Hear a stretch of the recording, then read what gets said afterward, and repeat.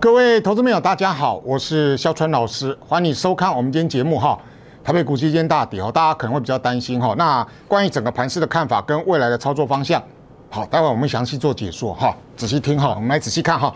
台北股市今天早盘呢，就直接开低，一路震荡走低嘛，那跌了快三百点，期货是跌三百多点了哈。台北股市呢，今天呢一一跌下来之后呢，就被打趴在地上。好，那各位你去想一下哈，昨天美国股市没有开盘呢，感恩节没有开盘呢。怎么搞的？没有开盘，结果台北股市大跌。那现在不是只有台北股市大跌哦。你看亚洲股市，上海、南韩、日经、恒生全部大跌，对不对？日经还跌很多哎，跌了差不多三趴了。恒生呢跌了两趴了啊，这跌一趴多嘛。所以台北股市今天跌了一点五趴，我觉得也算蛮合理的一个现象了哈。那当然为什么会跌？昨天美股没开盘呢。好，那各位。我还是要跟大家提醒了哈，有时候我们在跟大家分析的时候，我都说我去解未来。那未来要怎么看？其实从国际金融这个方向，你可以抓得到。你想想看哦，今天礼拜五嘛，礼拜一的时候呢，我就在节目里面有跟大家讲啊，我就说这个礼拜的重点，一个是通膨，这跟美元有关；一个是美股，有的时候跟它的月线有关，有没有？好，我们来仔细看了哈。这个礼拜以来，哈，整个全球股市的走势，你会发现到啊，好像都不强。为什么不强？十一月十号那时候，我就有跟各位讲，十一月下旬高科技股会破月线，对不对？你看啊，这都已经十一月上旬左右，还不到中旬。我跟你讲，十一月下旬高科技股会破月线。好，我们来仔细看哈，美股有没有破月线嘛？有嘛？道琼破月线嘛？先破嘛？啊，高科技股也破嘛，然后呢，在礼拜三的时候呢，稍微弹一些下嘛，还是在月线附近嘛，都没有走攻击嘛，对不对？好，那各位你就会发现到哈，那既然你的美股呢，这地方啊，面临到月线关卡，那当然了，全球股市不可能走强啊。可是亚洲股市为什么那么弱？因为跟通膨有关嘛。什么意思？你注意看了哈，礼拜一就要跟各位讲说，这个礼拜三四左右的时候呢，美国要公布 PCE 嘛，那时候我就跟他讲我说 PCE 你要注意一下。结果呢，它再创三十年以来的新高，对不对？那时候我就说啊，PCE 居高不下的话，接下来会会市场的氛围啊，它就会进入到哪里？就开始去讨论升息嘛，是不是？之前还在想说要不要缩表，结果呢，现在已经在讨论明年要不要升息。好，那各位，这就重点来了。当你去讨论这些议题的时候呢，美元是不是在创新高？对不对？好，那当美元一创新高的时候，我也跟大家讲说，你看我们现在都是用逻辑性的去推理了哈。当美元创新高，你外资在亚洲市场它一定会有汇损，没错嘛。所以呢，你就会发现啊，为什么今天整个亚台股是这样子跌，啊美股休市，结果呢亚洲盘全面都在跌，原因就在这个地方嘛，是不是？好，所以呢你会发现到哈，很多时候我在跟你分析的东西，我说我们去解未来。那当然，未来怎么样，大家不知道。可是我说，你可以从国际金融这一块，你去得到未来到底会发生什么状况。我说，我们去逻辑性的推演，好，股市涨跌都有理论依据。啊，我不是去靠凭那个什么盘感啊，什么感觉没有，有很多重要的数据，把它拿出来看，我们可以去慢慢的去去看整个盘它未来怎么走。好，那我也不是那种神经病的操盘那那种解盘法了。好，什么叫神经病解盘法？自己的股票跌翻天，然后每天拿那个涨的股票跟你讲这个不可以追，每天去骂涨的股票，我觉得那些言论、那些分析对你都没有什么太大帮助了。好，那当然今天台北股市跌下跌了快三百点，很多人会担心啊，啊，到底这个盘它是不是走空了？那是不是走空了呢？好，我们来仔细看了哈。其实这个问题啊，我又在礼拜二的时候我有跟大家分析嘛，我说是不是走空？看两个指标了，好，第一个。韩股嘛，另外一个就外资的仓位嘛，因为你美元创新高嘛，它会影响到外资仓位。好，我们先看韩国股市了哈。韩国股市今天也是跌下来了，但是呢，我在礼拜二的时候有跟大家讲啊，接下来的韩国股市很重要的一个重点在哪里？在这里嘛，前低会不会跌破嘛？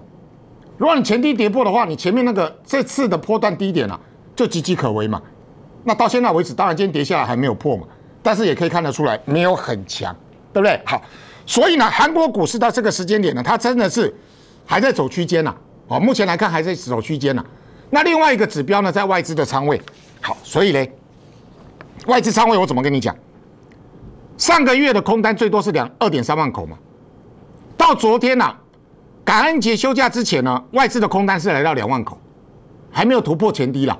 那重点应该是突破，如果说它的空单来到三万口的话，那压力会更重了。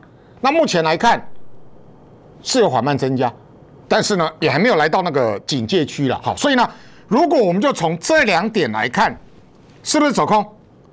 韩股不强啊，外资仓位空单也稍微有点增加。但是这两个指标都还没有达到那个警戒的位置区，所以盘要怎么看？我就跟他说哈，今天虽然跌下来了，但是我认为还是先把它看一下区间了，因为你后面要去看一下美股的走势嘛，对不对？所以呢，台北股市后面要怎么研判？你看哈，又来了，你还在你还在看今天股票可不可以买？然后这个盘今天涨跌了，我我昨天礼拜四的时候我已经跟你讲了，十二月上旬最慢十二月上旬会破月线。通膨家具嘛，我昨天是不是都在跟你解这个内容，对不对？好，来仔细看了哈。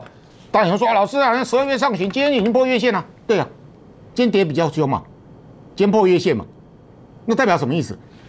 月线不会是支撑啊。同志们，来仔细看了哈。我昨天怎么跟大家讲？我昨天也跟他说嘛，我说这个盘最佳的模式就是稍微走一下区间嘛。但是你这个区间盘，你到时候月线上来，你还是会破月线啊。这样的走势会像什么？就会像我之前跟你讲的美股的走势是一样的嘛，这时候也破月线，对不对？好，那当然你这个破月线，我有跟他说嘛，你现在要看的是什么东西？就是说，你现在外资的期货仓位跟韩国股市有没有继续在走低嘛？如果这样在走低的话，当然对盘势影响会很大。但是呢，目前还没看到。我说，就算破月线，我还是先把它看区间，暂时先看一下区间。那重要的关键指标就看这两个，对不对？好。那当你在这个看区间的时候，当然还是要留意啊，会不会韩国股市太弱，或外资期货的空单增加？那到时候呢，这个地方你还是要预防它会不会下跌嘛，对不对？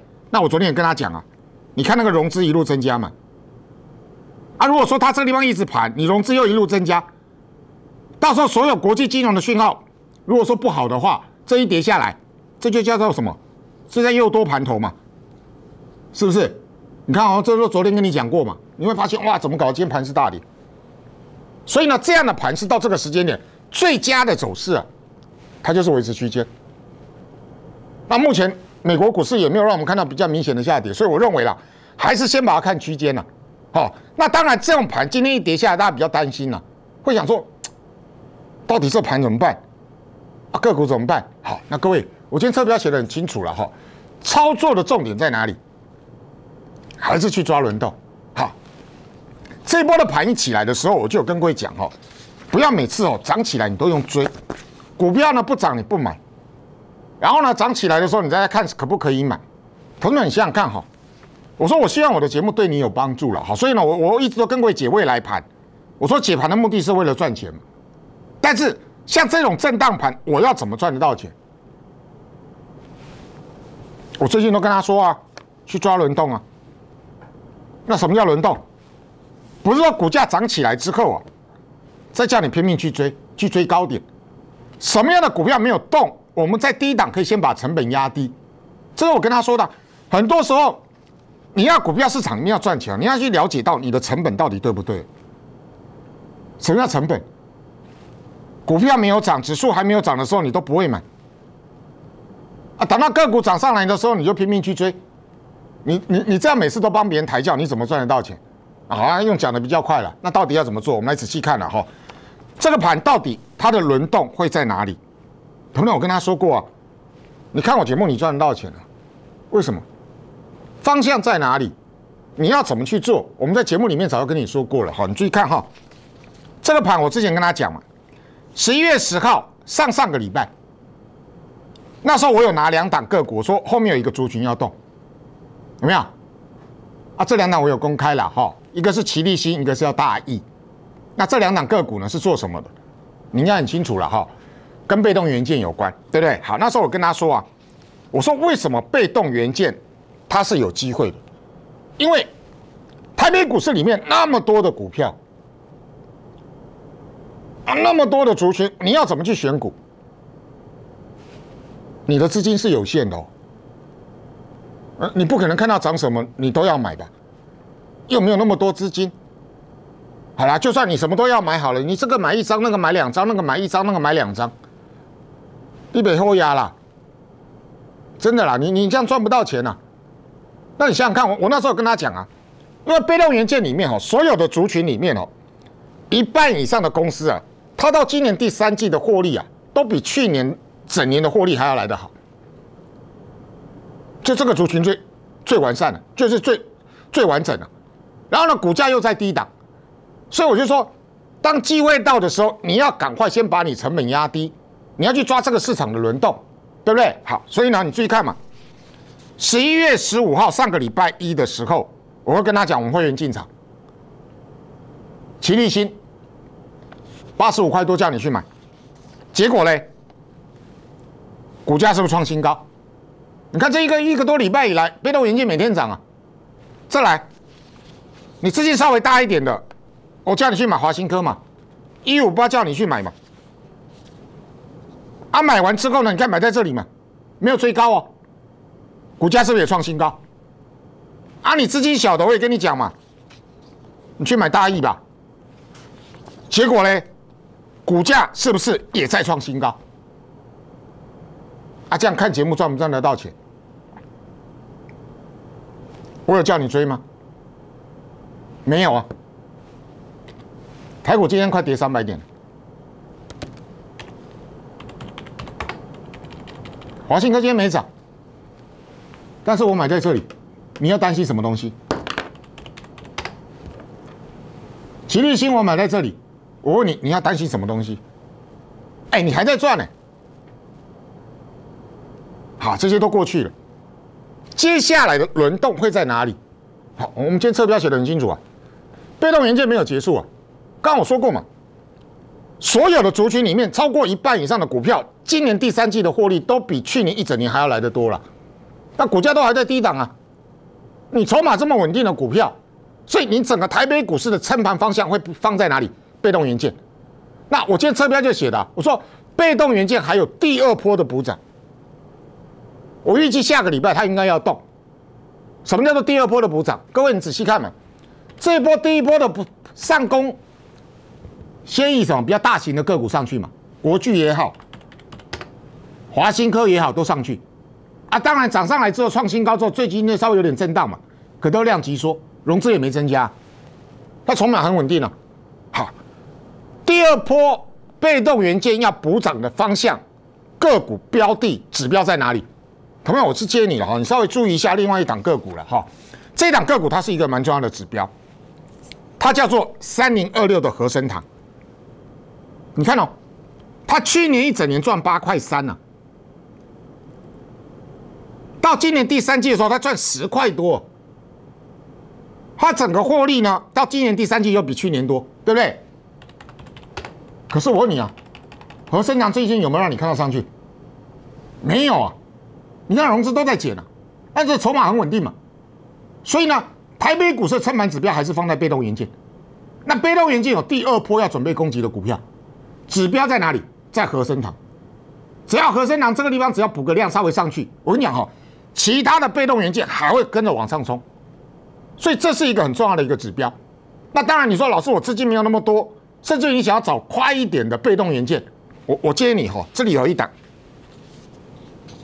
比方说这档个股，这档第二波准备要攻击的被动元件，比方说这档个股，去年赚三块多嘛，啊，今年第三季就比什么？比去年赚的还要来得多嘛，是不是？好，那你注意看哈，从整个股价的形态来看，台北股市从十月开始谈哦，可是呢，它从八月份开始就一直维持区间了，那你台北股市呢，八月份的时候还跌下来嘛？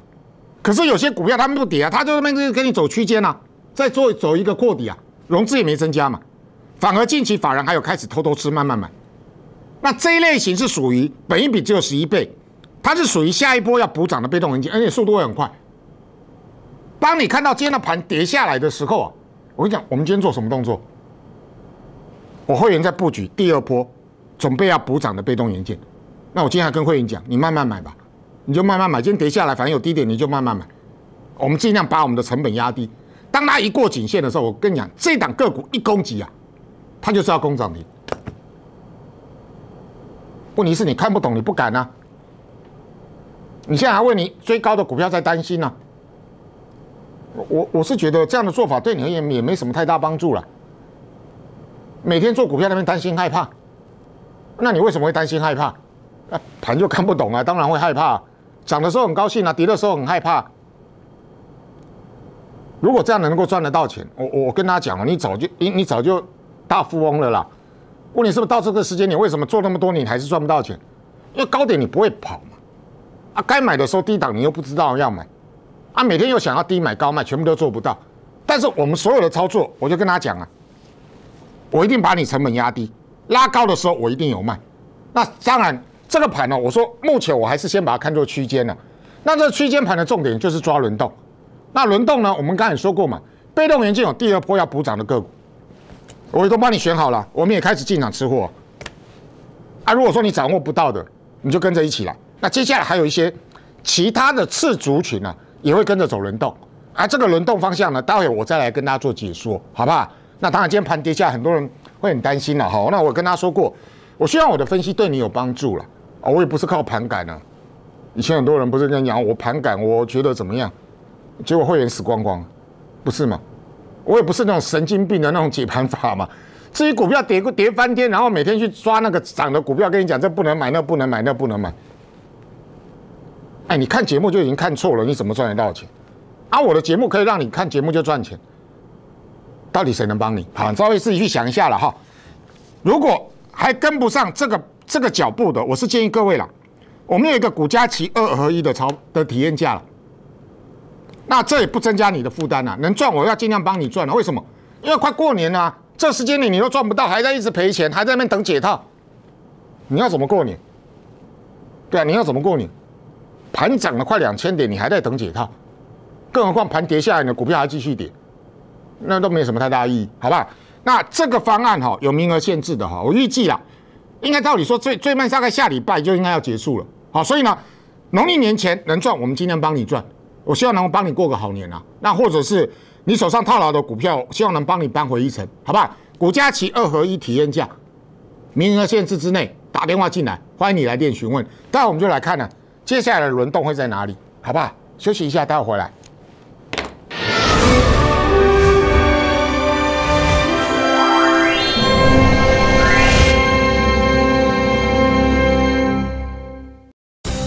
达投顾核心操盘团队帮助您不再望股兴叹，特别开放专线，让您立刻享受财富的拥抱。立刻速拨零二二七八一零九零九，只要拨通，就让您发很久，发很久。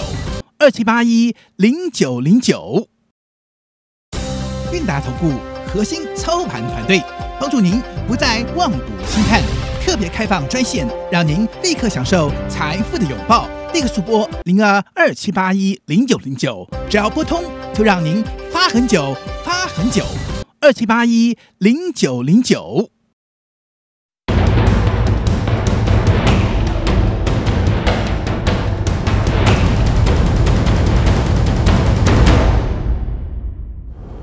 好，欢迎到现场哈。台北股市今天突然起突突然出现那种大跌的一个现象哦，跌了快三百点哈，整个指数就被打趴在地上哈。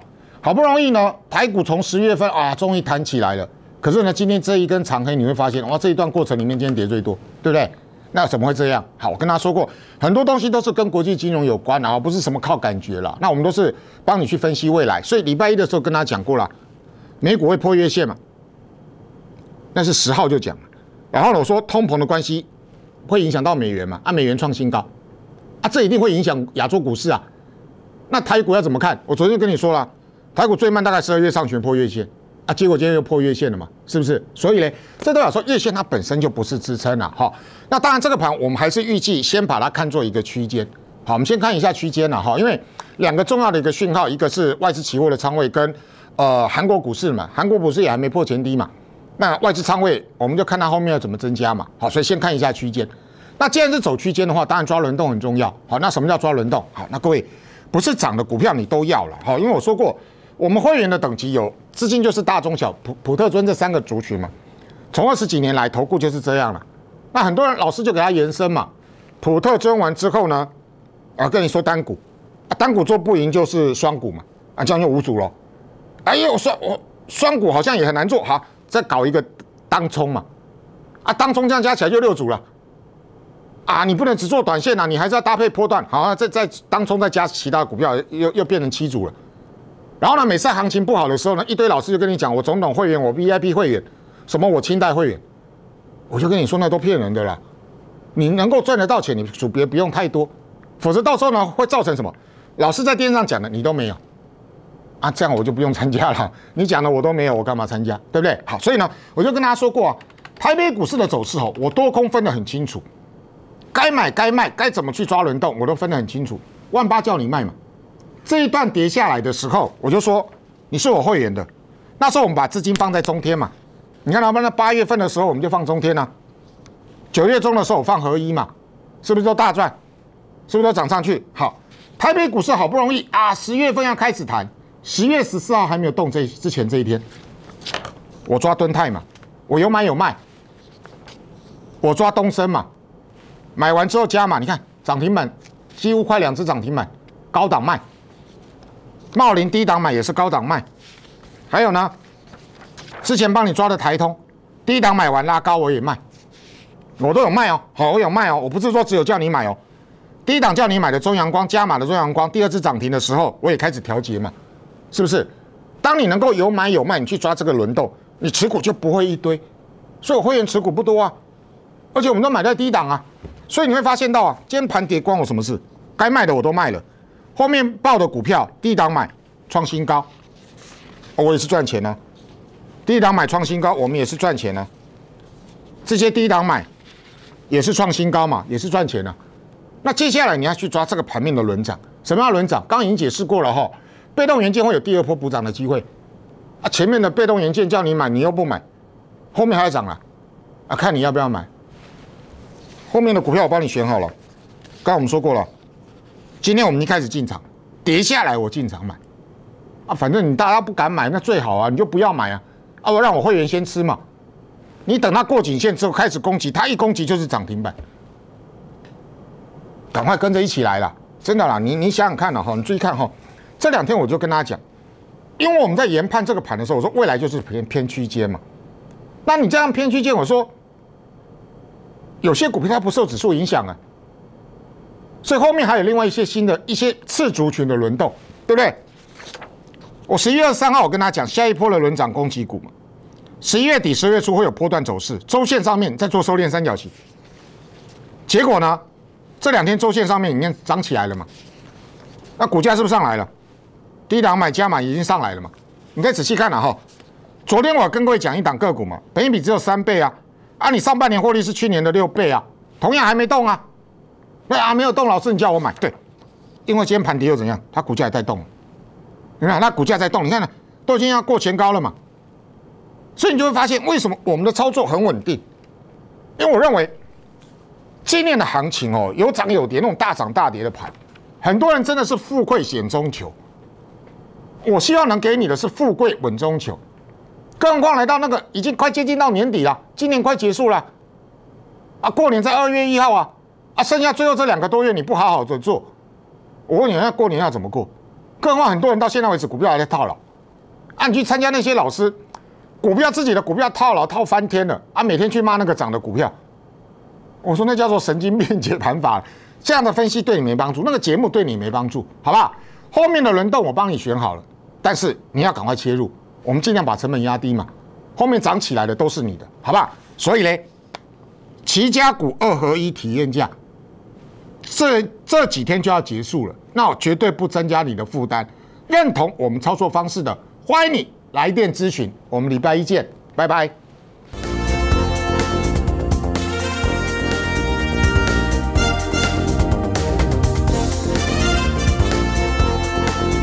本。投资公司与所推荐分期之客也有价证券无不当之财务利关系。以往之绩效不保证未来获利。本节目资料仅供参考，投资人应独立判断、审慎评估并自负投资风险。